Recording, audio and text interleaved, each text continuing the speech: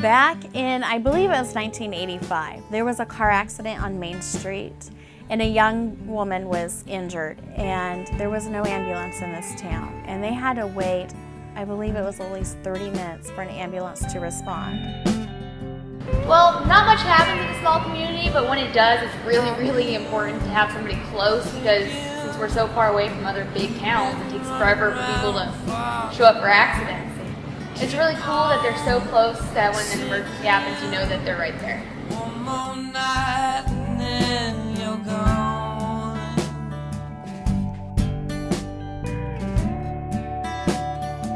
And those people that were with her had decided that this was not going to happen again in this town to anyone else. And so they worked very hard to start an ambulance in this town. And it's very difficult to start a service. Oh my gosh, it's a matter of life and death a lot of times. It's very, very important.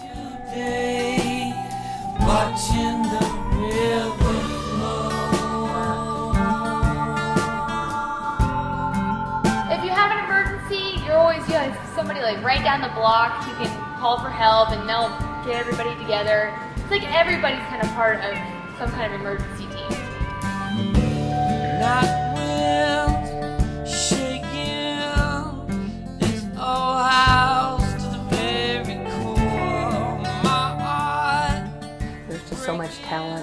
Knowledge, and so much caring that you might not get in a big city. I'm not saying that they don't care, but they don't have time to develop the relationships. Okay, like when, when my son-in-law needed them, when my daughter needed them, they knew instantly who it was.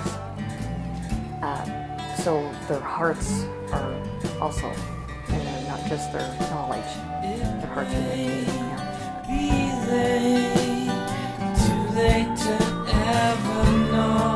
But they put everything they had into it. And at that time, there were not a lot of volunteers, and they took a lot of call time.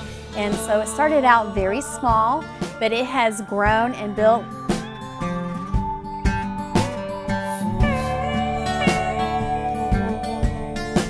We've got some wonderful volunteers, and they do. They um, they don't just do fire and EMS. They're involved in the community in other ways. We just continue to grow and expand, and our skill sets are growing. We now have uh, ALS services, which is Advanced Life Care Services, and so we can provide beyond your initial first day.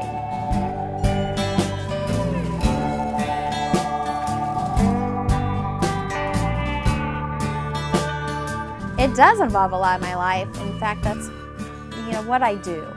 But it's more than just a job for myself and for those that I serve with. It is taking care of our neighbors and our family.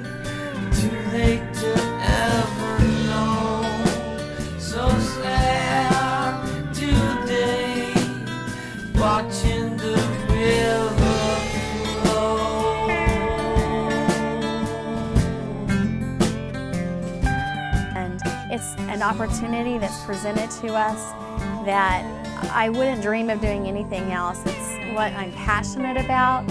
I get to help my friends, my neighbors, and family, and it's a privilege to be in their moment of crisis that they're asking us for help. And so it's an honor to serve my community in that way.